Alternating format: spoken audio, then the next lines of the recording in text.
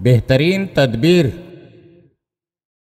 किसी ने एक आलिम से पूछा कि ये बताइए कि एक जवान, सेहतमंद आदमी एक खूबसूरत औरत के साथ ऐसे मकान में हो, जिसमें उन दोनों को सिवा कोई न हो, न उसे ये खौफ हो कि कोई उसे गुनाह से रोकेगा।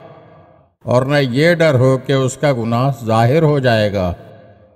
तो क्या ऐसी हालत में वो गुनाह से बच सकता है?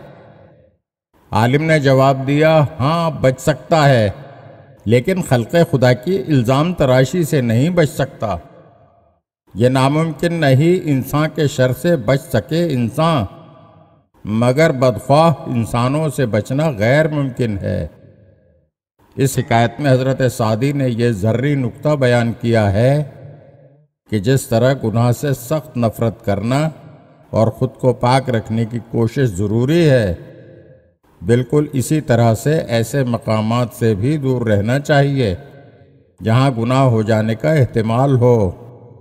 इंसान अपनी नेक नफसी के बायस पाक भी रहे, फिर भी लोग तरह तरह की बातें बनाएँगे और शक का इजहार करेंगे।